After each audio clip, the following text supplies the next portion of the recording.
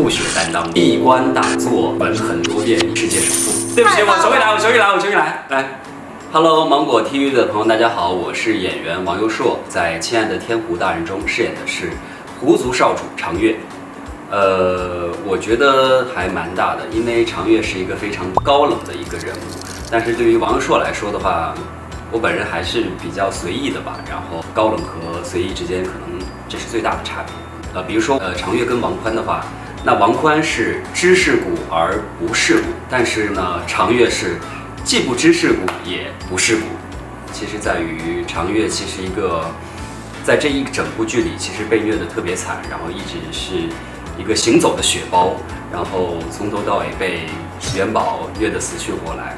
这一期其实你呃，我在想，其实因为九尾狐嘛，它有九条狐狸尾巴。然后，但是它为了元宝献出了自己的八条性命。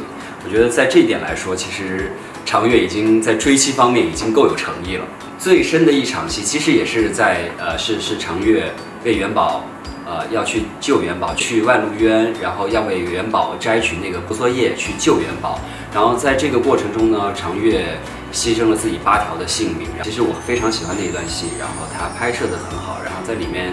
呃，长月也是被他虐虐得非非非常惨，呃，最解暑的应该属空调房吧。但是其实，在片场的话，呃，有要准备小风扇啊、冰凉贴啊、防晒遮阳。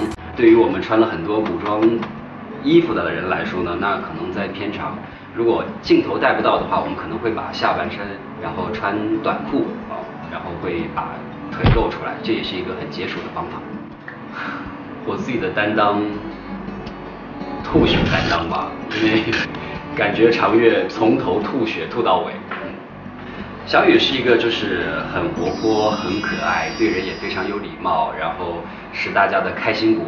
我觉得他从我刚开始见他和到现在，我是觉得没有什么的特别大的变化。我觉得是一个非非常真诚的小女孩。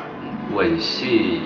好像我其实记不太清楚了，没有太多 NG 吧，但是我们会吻很多遍，因为要换不同不同各种方位的一些机位，所以在这个过程中，我们可能吻着吻着啊啊来，我们就吻着吻了。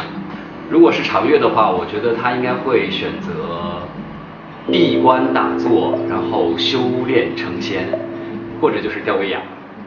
长月是九尾狐吧，还是九尾狐？如果只剩最后一条尾巴，其实对于长月来说，我觉得他可能还是会把最后一条性命奉献给元宝，也不知道为什么。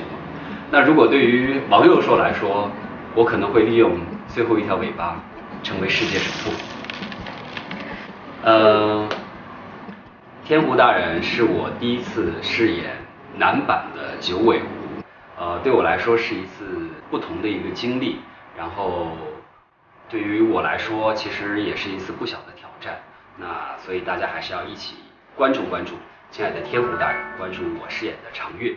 我看看啊，我最近在听的歌，那我唱一首最近那个一首比较火的歌。唱几句就行了。哦，唱一首。好的。